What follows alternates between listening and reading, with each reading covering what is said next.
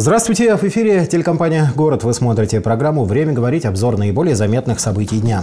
Главные темы на сегодня таковы. Дом порока и азарта закрыт. Еще одно подпольное горное заведение в Рязани приказало долго жить. Навсегда ли? В туалет под зонтиком. После ранней оттепели в Рязани потекли ветхие крыши. А теперь обо всем подробнее. В Рязани полицейские прикрыли подпольное казино. Ну, подобные известия приходят с такой регулярностью, что по неволе горожане задумываются, а не в Лас-Вегасе ли мы живем, товарищи дорогие. Потом смотрят вокруг на окружающую действительность и понимают, нет, не в Лас-Вегасе. Как известно, сейчас в России горный бизнес представлен либо букмекерскими конторами, коих все больше, либо тотализаторами, либо работой заведений, которая идет на специально отведенных территориях в Приморье, Калининградской и Ростовской областях и в Алтайском крае. Все остальное, как говорится, от лукавого. Да, к слову, и разрешенные-то виды такой деятельности тоже на не тянут. Однако закрытые от постороннего глаза притончики существуют и там, и сям, и никак от них нам не избавиться. Теперь подробнее об очередном рязанском и горном закрытии. Очередное рязанское казино располагалось на заводском проезде. Система безопасности, как это уже утвердилось в нашей с вами действительности, была на высоте. Камера наблюдения, доступ только постоянным клиентам, полный, как говорится, учет и контроль. Полиция применила собственные методы, чтобы попасть в игровой зал, и застала действо в полном разгаре. Лас-Вегас на заводском проезде бурлил и зажигал вовсю. Правоохранители изъяли три покерных стола, рулетку, фишки, колоды карт, другими словами, полный набор из дома азарта и порока. Чем на играх попадаться, лучше спортом заниматься. Стишок простоват, но сила, как известно, в правде.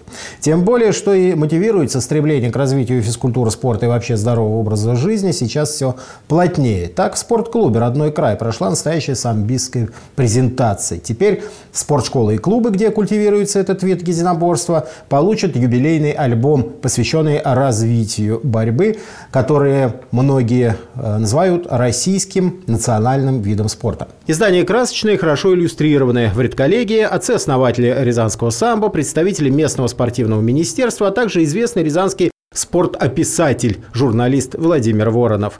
Это первый подобный проект в регионе. Выступавший на презентации Татьяна Пыжонкова, которая, напомним, возглавляет наш Минспорт, пообещала продолжить таким образом популяризацию самых различных видов спорта. Конечно же, на презентации альбома был и рязанский патриарх от самбо, председатель областной федерации Виктор Модестов, ученик великого Харлампиева. Рязанское самбо начиналось именно с него. Так вот, Виктор Валентинович подарил директору спортшколы «Родной край», где проходила встреча, альбом на последующие 50 лет развития самбо. Его листы девственно чисты, однако нет сомнения, что в скором времени здесь появится свидетельство новых побед и достижений рязанских атлетов. Мы не раз говорили в программах о необходимости дальнейшего развития в Рязани массового спорта. Самбо, карате, лыжи, футбол, да что угодно. Как у Маяковского, все работы хороши, выбирай на вкус. Вполне применимо и к спорту, разве не так? Но, к сожалению, спорт высоких достижений всегда поглощает основные выделяемые средства. Это происходит повсеместно. Понятно, что функционерам надо демонстрировать результат, отдачу, позитивные отчеты, но как ждут мотивации и поддержки дворовой команды, федерации тех видов спорта, которые, к сожалению, сейчас пребывают на обочине. Например, чемпионат области по тяжелой атлетике давно уж переехали из столицы регионов Касимов. Хороший, конечно, город, но все равно не столица. Продолжает программа материал из цикла «Так и живем». Сегодня жители дома номер 16 по первому индустриальному переулку дружно вышли в этот самый свой переулок, чтобы рассказать нам, телевизионщикам, о своей беде. А она одна на многих. Ветхая крыша дома стала предметом невыносимого житья-бытия. Течет вода с потолков по стенам, а тут еще и снег начал уже в феврале таять, добавив влаги неудалому дому. Обо всем люди рассказали Наталье Новиковой. Наверное, каждому жильцу последнего этажа не понаслышке известна такая неприятность, как протечка кровли в многоквартирном доме. Это бич домов, которые находятся под опекой жилищно-коммунального хозяйства, и таким жильцам можно только посочувствовать. Жители дома номер 16 по первому индустриальному переулку уже который год пытаются бороться с протекающей крышей. А, я проживаю в доме 16 по улице 1 индустриальный переулок, в квартире 59. А нас неоднократно заливает сверху, то есть течет крыша. Мы живем в этом доме уже 42 года. Такого у нас не было. Вот год, наверное, 4 или 5 все это протекает у нас.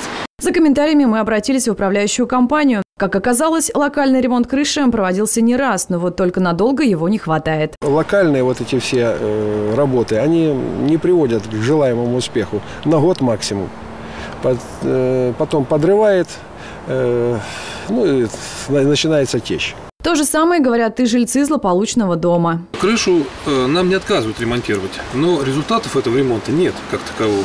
По всему выходит, что единственный выход из сложившейся ситуации – это капитальный ремонт. Все э, жалобы, все вот эти заявки, э, естественно, зимой мы их делать не можем, а придет весна, придет тепло, когда можно будет нормально работать, все мы будем исправлять. Прошу единственное людей потерпеть чуть-чуть. А исправлять мы будем. Но самый лучший выход – это, естественно, капитальный ремонт кровли всего дома. Поэтому лучше не ждать, когда придут и все починят, а собирать документы и добиваться, чтобы многоэтажку внесли в реестр домов, требующих капитального ремонта. Продолжает программу репортаж из необычного прокатного пункта, который недавно открыт в Рязани. Хотя точнее можно его обозначить как центр реабилитации, который работает под эгидой регионального министерства соцзащиты. В российских городах стали открываться пункты, где инвалиды могут взять во временное пользование коляски, прикроватные столики, трости. Дошло влияние и до нас, и, как говорится, слава богу. Продолжает тему Оксана Тебенихина. Рязанское областное министерство социальной защиты населения предоставляет услуги проката специального оборудования для людей с ограниченными физическими возможностями. В перечень так называемых технических средств реабилитации входят ходунки, телескопические пандусы, трости, костыли, различного вида опоры и многое другое. При комплексном центре социального обслуживания населения города Рязани э, организован пункт проката и школа реабилитации. Мы сейчас находимся в реабилитационном модуле. Это э, модуль квартиры, которая у на, нам приспособлена под нужды инвалидов. Организован нами здесь пункт проката средств, э, технических средств реабилитации. Ну, средства реабилитации представлены креслами-колясками, ходунками, всевозможными тростями. Вы видите костыли, подлокотные, э, допустим, костыли э, с всевозможными видами опор э, речевые устройства, допустим, видеоувеличители с речевым выходом, тонометры с речевым выходом, умывальные стойки – и много других. Всего у нас 23 наименования технических средств реабилитации, которые мы предоставляем гражданам пожилого возраста и инвалидам в безвозмездное пользование. Для того, чтобы воспользоваться техническими средствами реабилитации, получить необходимые им средства, необходимо обратиться э, к нам в министерство с паспортом, э, в котором отмечена регистрация на территории Рязанской области. И это средство можно будет получить безвозмездное пользование на 6 месяцев. Это оборудование поможет встать на ноги людям, перенесшим сложные операции или получившим травмы позвоночника и конечностей. Выдается инвентарь на полгода. В случае необходимости срок аренды продлевается. А еще Минсоцзащита выделяет в постоянное безвозмездное пользование жизненно необходимые для инвалидов предметы ухода. Здесь представлены технические средства реабилитации не только из пункта проката, но и как образцы вот, модуля реабилитационной квартиры. Здесь можно увидеть у нас, допустим, многофункциональную кровать, которая позволяет принять любое положение тела человека, когда он находится, э, допустим, э, на этой кровати и не может, допустим, сам как-то подняться. Обеспечение рязанских инвалидов всем необходимым – вот одна из приоритетных задач Министерства соцзащиты. Если уж наши реалии практически не предусматривают никаких удобств для данной категории граждан, то хотя бы оборудование и все необходимое устройство просто обязано быть для них в открытом доступе. Сегодня мы продолжим разговор о проблемах рязанских инвалидов, но уже в студии программы «Подробности». Министр социальной защиты населения региона Вера Глонти рассказала о том, как обстоят у нас в области дела в плане создания так называемой безбарьерной среды для инвалидов. Напомним, проект «Подробности» выходит в эфир сразу после нашей программы. Но мы продолжаем и вспомним рязанский этап эстафеты Олимпийского огня. Тогда вместе с другими факелоносцами по улицам города пробежали наши известные спортсмены. Легкоатлет Сергей Тимонин и борец Иван Никоев. Они успешно выступают на соревнованиях среди глухих атлетов. Но, пожалуй, самый известный наш спортсмен этой категории – Виктор Владимирович Дыманов, заслуженный мастер спорта по спортивной ходьбе, чемпион международных летних игр глухих, а это аналог Олимпиады. Много у него наград, других состязаний самого высокого уровня. Недавно рязанские журналисты даже сняли документальный фильм о чемпионе. Сегодня в Музее истории молодежного движения прошла встреча с легендой рязанского спорта. В Музее истории молодежного движения «Легенда спорта» Виктор Диманов рассказывает школьникам о своем участии в Олимпийских играх, о своей судьбе, о том, как он стал спортсменом.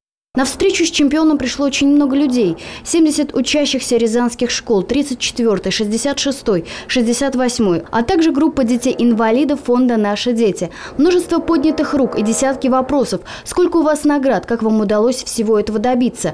Виктор Валерьевич говорит, что наград не считает, он просто живет спортом. Что я то победили, потому что очень много тренировались.